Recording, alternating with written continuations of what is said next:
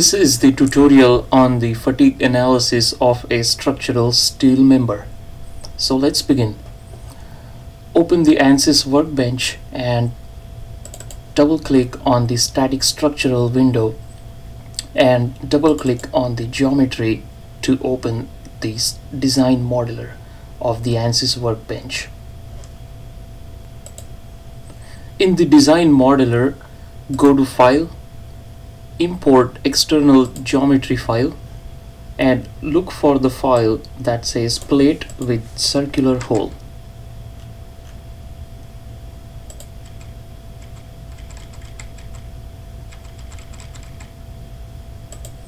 or rather plate with hole.igs. Click on generate to import the part in your design modeler.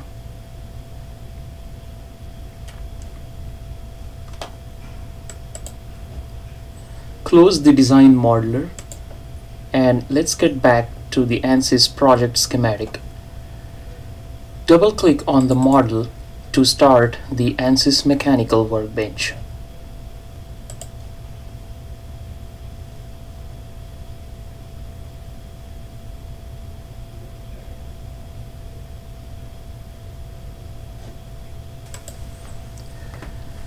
After the part is opened in the ANSYS Mechanical, click on the mesh and generate the mesh by default. Make sure the statistics of the mesh, currently we have 121 elements and 1012 nodes for this steel plate that has a circular hole at the center. We can always refine the mesh by changing the sizing in the details of mesh. Click on the relevance center and change from coarse to fine and regenerate the mesh.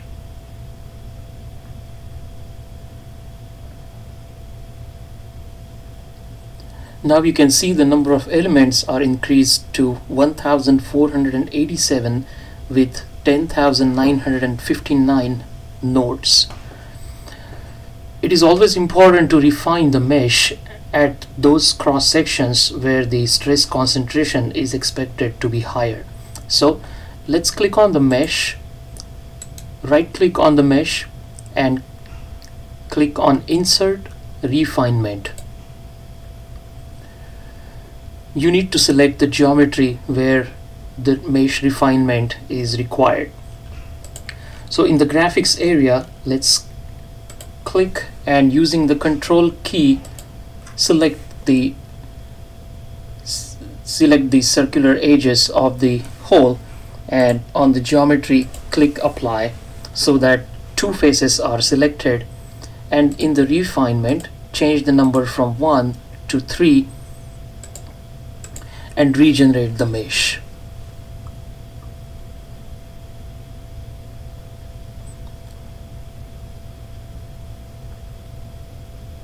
click on the mesh to see the mesh density that is increased near the circular edges as we've selected for the refinement. Now you can also take a look at the number of elements how they have increased up to 22,723 number of elements and 37,368 number of nodes.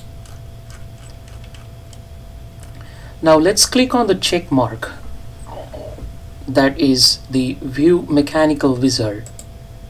And once you click on the check mark on the right hand side you would notice a window that lets you select what kind of analysis that you want to create for this particular problem.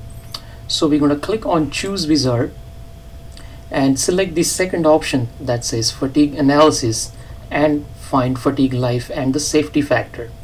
So let's click on that and your analysis inputs would change accordingly.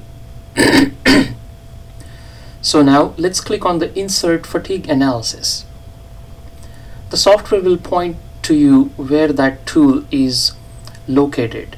So expand the tools and click on a fatigue tool. The fatigue tool gives you the display of a constant amplitude load in this case it shows fully reversed and also it tells you what kind of mean stress correction theory that we're going to employ. So for example you have uh, SN None or Goodman or Soderberg or Gerber uh, fatigue life stress theory. Make sure that on the loading the type says fully reversed. You can also change that option from fully reversed to zero based which means the loads will be acting only in one direction and not in the plus minus cycle. Fully reversed loading is for example if you have 100 at 100 megapascals then the loading will occur plus 100 megapascals to minus 100 megapascals so from tensile to the compressive stage. Alright so right now we're gonna right click on the fatigue tool and insert life and also right click on the fatigue tool to insert the safety factor okay so now we will again go back to the mechanical wizard and click on the verify material you will see the details where you could change the assignment for the material from structural steel to some other material. In this case, we will use the structural steel material by default. Next comes the insert structural loads. So click on the insert structural loads and you would be required to assign the loads for this fatigue analysis.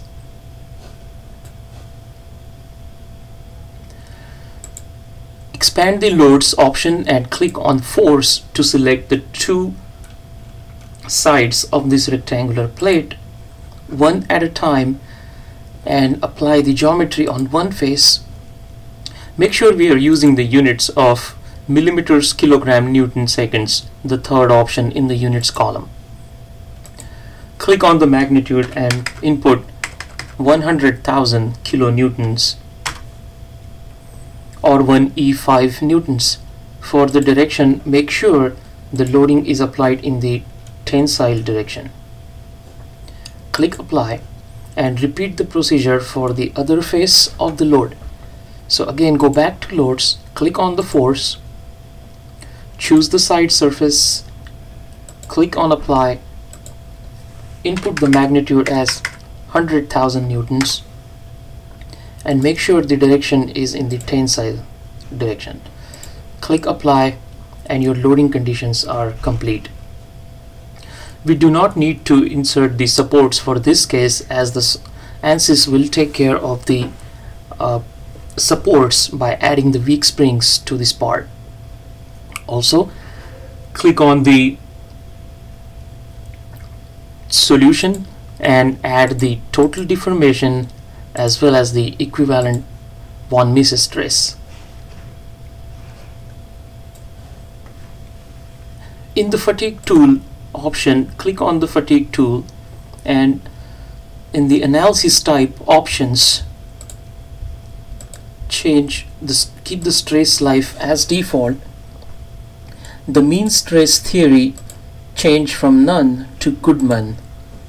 We will be using the Goodman fatigue analysis theory for this particular problem where the stress component we will include as the equivalent von Mises stress.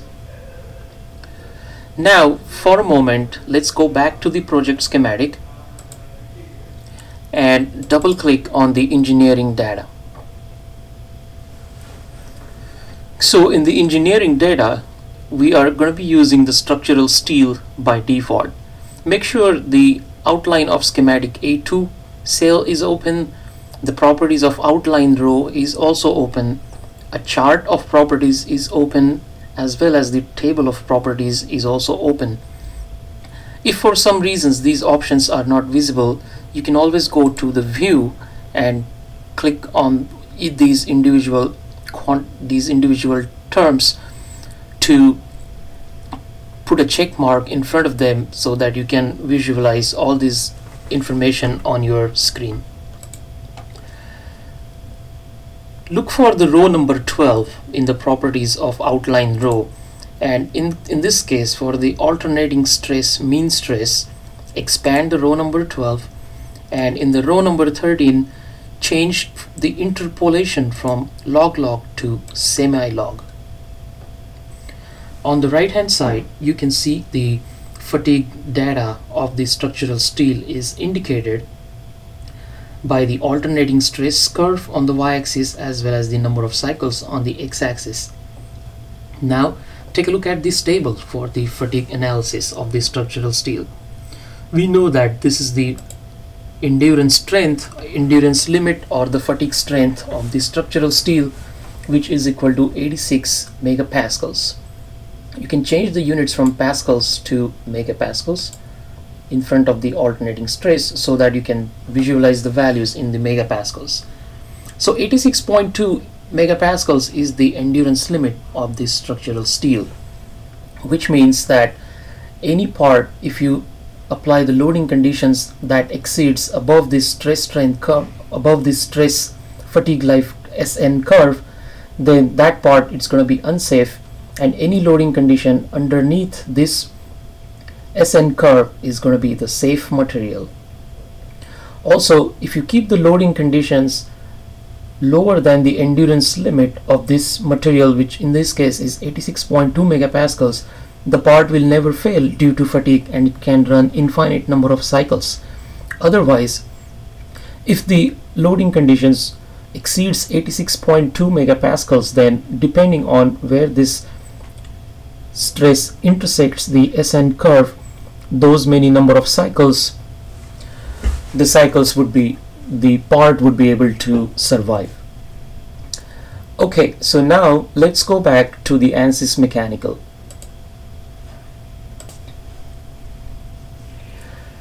we will solve this problem by clicking on the solve option and wait for the analysis to be completed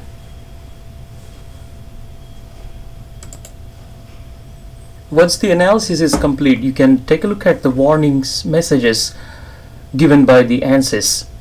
First warning says an iterative solver was used for this model. However, a direct solver may enhance the performance. Consider specifying the use of direct solver. So let's go to the analysis settings and in the solver type that says program control let's click on the direct solver and solve the analysis one more time